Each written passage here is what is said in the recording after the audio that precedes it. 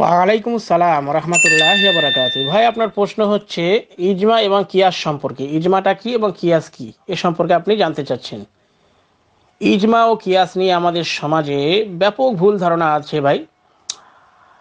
মানুষ ইজমা, কিয়াস সম্পর্কে মারাত্মক ভুল ধারণা রাখার কারণে প্রতিনিয়ত নতুন নতুন বিষয় ধর্মের মধ্যে ইজমা, কিয়াসের নাম দিয়ে ঢুকিয়ে দিচ্ছে। এখন এই ইজমা কাকে বলে বা কিয়াস কাকে বলে, এটা আমাদের জানতে হবে। ইজমা হচ্ছে ইসলামী শরীয়তের আইনের তৃতীয় উৎস হলো ইজমা। অর্থাৎ কোরআন ও হাদিসের পরে তৃতীয় উৎস হচ্ছে ইজমা। ইজমা হলো এই উম্মতের দিনই জ্ঞানসম্পন্ন মুস্তাহিদদের ঐক্যমত পোষণ। আর এর ভিত্তি হলো রসুল সাল্লামের সেই হাদিস। রসুল সাল্লাম বলেছেন, আমার উম্মত কখনো ভ্রষ্ট পথে একমত হবে না। তিরমিজি, হাদিস নম্বর দুই হাজার একশো সাতষট্টি। সুতরাং উম্মতের সবাই যদি কোনো ব্যাপারে একমত হয়, তাহলে তাও আল্লাহ ও তার রসুলের অনুমতি ক্রমেই হবে, আর তা হবে গ্রহণযোগ্য। পূর্ববর্তী কোনো দিনের ক্ষেত্রে তাদের নবীর মুখে এরকম কোনো অভয়বাণী শোনানো হয়নি, ফলে তাদের সবাই একমত হলেই সে মতটি সঠিক হওয়ার গ্যারান্টি নেই, অথচ অল্প জ্ঞানী লোকজন ইজমার বায়ান করে চলেছে সমাজে। আজকে সমাজের দিকে লক্ষ্য করলে বোঝা যায় যে তাহলে সুন্নাত জামাতের স্কলারগণ অন্যান্য প্রচলিত বিভিন্ন ফিরকার নিজস্ব মতামত গ্রহণ করছেন না। তারা কোরআন ও সেই হাদিসের বাইরে কোনো মতামত গ্রহণ করেন না, ব্যক্তিগত কোনো মতামত তারা গ্রহণ করেন না।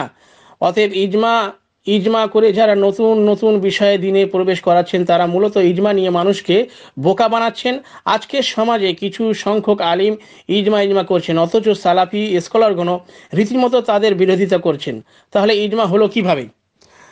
রসুল্লাহ সাল্লাম বলে গেলেন, আমাদের ধর্মের মধ্যে যা নেই, এমন কিছুর নতুন সংযোজন যে করবে, তা পরিত্যজ্য বা বাতিল। বোখারি হাদিস নম্বর দুই হাজার ছয়শো সাতানব্বই, মুসলিম হাদিস নম্বর এক হাজার সাতশো আঠারো।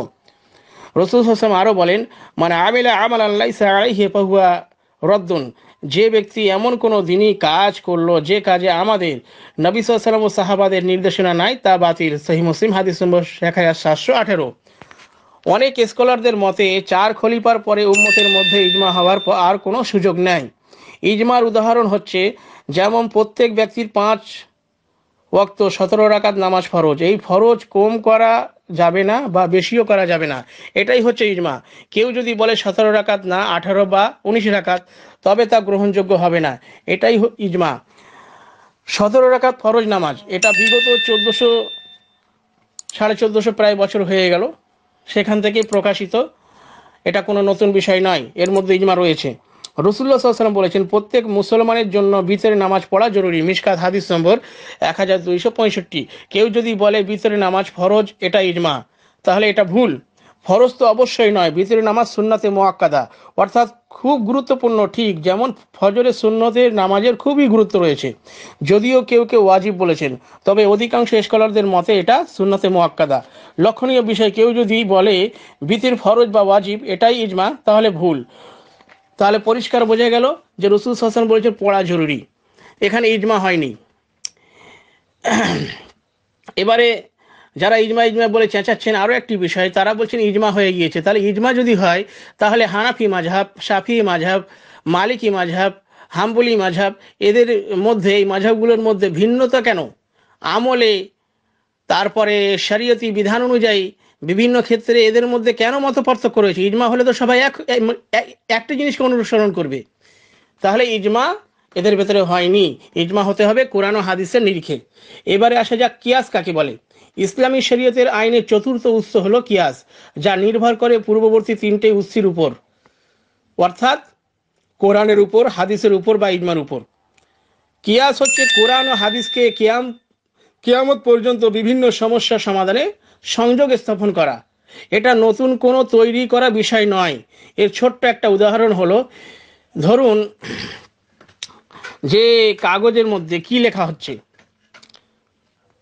কাগজের মধ্যে এখন লেখা হচ্ছে কোরআনের আয়াত, কাগজের মধ্যে লেখা হচ্ছে হাদিস, অথচ এগুলো কিন্তু রসুল সাসলামের যুগে পাথরে লেখা হতো, যখন ওহি অবতীর্ণ হতো, পাথরে লেখা হতো, চামড়ায় লেখা হতো, গাছের পাতায় লেখা হতো, গাছের ছালে লেখা হতো, কিন্তু এখন লেখা হচ্ছে কোথায়? কাগজে। তখন কাগজ ছিল না, যার জন্য লেখা হতো ওই সব বস্তুর মধ্যে। এখন কাগজ এসেছে, তাই কাগজে লেখা যাবে, এটা হচ্ছে কিয়াস। এখন আরও একটি বিষয় আপনাকে স্পষ্ট করে দিই। বিলাল রাজিয়াল্লাহ তালানহকে উচ্চ স্বরে আজান দিতে বলা হতো, যাতে বেশি দূরে লোক আজান শুনতে পায়। এবং এক অন্ধ লোককে আজান শুনতে পেলে মসজিদে হাজির হওয়ার নির্দেশ আল্লাহ রসুল সাল্লাম দিয়েছিলেন। আজান যত বেশি দূর পর্যন্ত পৌঁছাবে, তত স্বভাব অর্জনের কথা সেই হাদিসের মধ্যে এসেছে। ইসলাম জীবনের প্রয়োজনে নতুন টেকনোলজি ব্যবহার নিষেধ করে না। অতএব বোঝা যাচ্ছে যদি তখন মাইক থাকতো তাহলে মাইক ব্যবহার করা হতো। মাইক ব্যবহার দিন ইসলামের বিধান পরিবর্তন করে না। এটাই হচ্ছে ইজমা। উদ্দেশ্যটাকে পূরণ করছে যে যত দূর আওয়াজটা যায় আর মাইক ব্যবহারে সেই উদ্দেশ্যটা পূর্ণ হচ্ছে, এটাই নাম হচ্ছে কিয়াস। এবারে আরও একটি বিষয় আপনারা দেখুন। সেটা হচ্ছে টেলিভিশন। টেলিভিশন অনেকে বলছে যে মানে টেলিভিশন দেখা যাবে না। টেলিভিশনে বা টিভিতে ইসলামিক প্রোগ্রামও দেখা যাবে না। কারণ সেই টিভির মধ্যে, সেই টেলিভিশনের মধ্যে নাচ, গান এই সমস্ত হয়। অথচ না, ভালো জিনিসে সব কিছু ব্যবহার করা যাবে। রসুল সাল্লামকে দেওয়ালে দৃশ্যপদে জান্নাত ও জাহান্নাম দেখিয়ে দিয়েছিলেন আল্লাহ তাআলা। আবার মিরাজের সত্যতা নিয়ে যখন কাফিররা বাইতুল মোকাদ্দাসের বর্ণনা দিতে বললেন মহানবী সাল্লামকে তখন আল্লাহ সুবাহান তালা বাইতুল মোকাদ্দাসকে রসুল সাল্লামের চোখের সামনে তুলে ধরলেন স্ক্রিনের মতো করে। বোখারি হাদিস নম্বর তিন হাজার আটশো ছিয়াশি, মুসলিম হাদিস নম্বর একশো সত্তর। এখন কিয়াস হচ্ছে কানেক্টিভিটি, এর প্রেক্ষিতে ইসলামী অনুষ্ঠান রেকর্ড করা ও তা স্ক্রিনে দেখানো জায়েজ, সংবাদ পরিবেশন জায়েজ, এটাই কিয়াস। একইভাবে তার অন্য ব্যবহার টেলিভিশন ও স্ক্রিনে স্ক্রিনে না জায়েজ। যেমন নাচ, গান, এই সমস্ত ব্যাপার।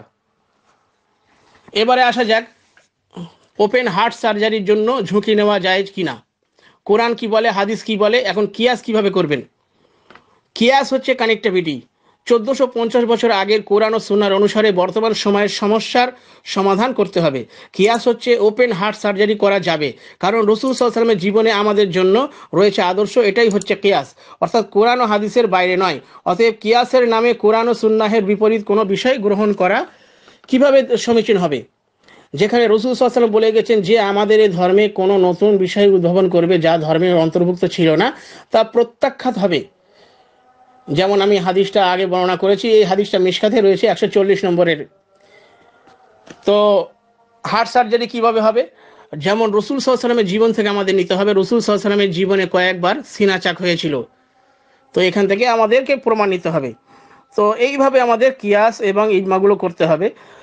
কিয়াস ও ইজমার নামে কোনো কিছু শরীয়তের মধ্যে নতুন অন্তর্ভুক্ত হবে না। আশা করি আপনাকে সংক্ষিপ্তভাবে বোঝাতে সক্ষম হয়েছি।